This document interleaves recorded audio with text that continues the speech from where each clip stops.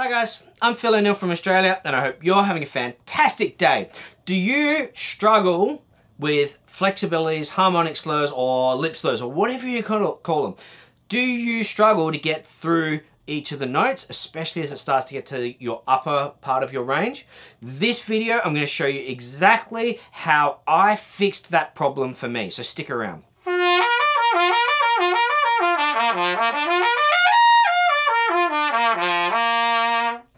Used to struggle with slurring between the harmonics, right? So harmonic slurs or flexibilities. And for a long time, it really frustrated me because people talk about practicing flexibilities quite a lot and how it really improves your playing. Now, I couldn't do this and I was a professional player before I discovered this trick. Now, this trick was taught to me by my teacher at the time, who was the profession, who was the principal trumpet player of the Sydney Symphony Orchestra for a whopping 34 years. So this guy knows a thing or two about how to play the trumpet efficiently. And this trick is called honking. Now you can do it with any of your flexibility exercises, but today I'm going to use one of the exercises out of my trumpet course that you can find from my website, www.learntrumpetnow.com. So if you want to get the sheet music, go through to that website and you can find it as part of my tr trumpet course. Now, honking. Honking sounds like a bit of a funny kind of name. But what am I talking about with honking? Now, honking is where we start the note without the tongue and we use like a, a who articulation. And that might sound a bit weird to you because for your entire trumpet playing career, you would have been taught sing to or do or one of those type syllables with a firm tongue at the start. But for this exercise, we're going to get rid of the tongue and we're just going to use the air. It'll sound like this.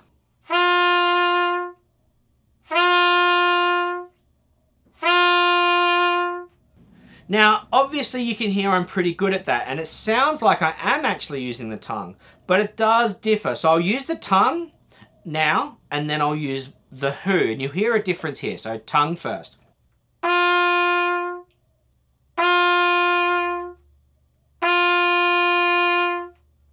Now I'm going to get rid of the tongue and do the honking articulation.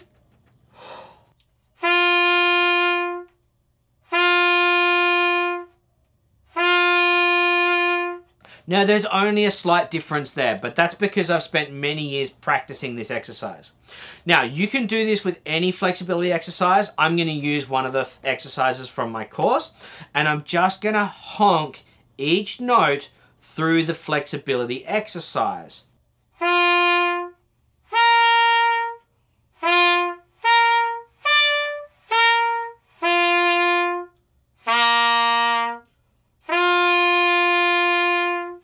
Now, how does this help?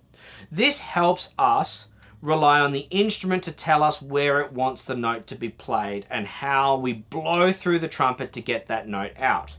Each note wants to be blown slightly differently to each other note. It doesn't mean we have to blow a lot of air.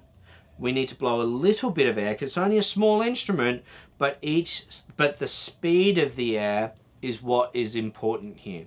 So by practicing the honking, and going who, who, who, who, who, who, who, who, who, helps us discover where the trumpet wants us to blow through it and how it wants us to play. We're essentially learning how to work with the trumpet rather than try and dictate to the trumpet. And I would do that through every key.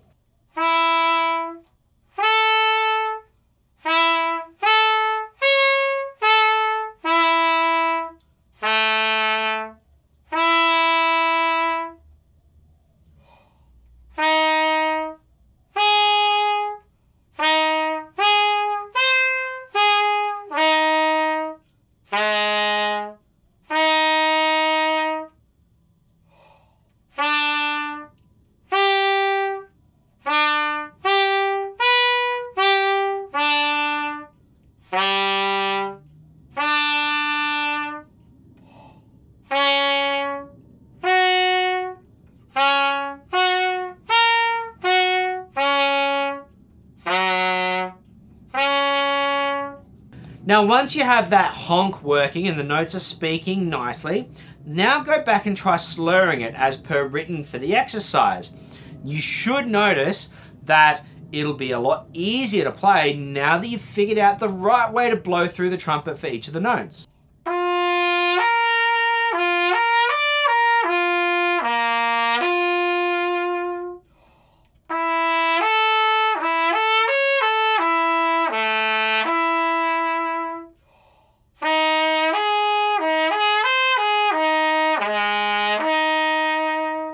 You can also honk the first note, so you can get rid of the tongue completely if it's not perfectly working. So you can start honking all of them, then honk the first note, and then tongue the first note. And it should make things a lot more easier when you're coming through to your flexibilities.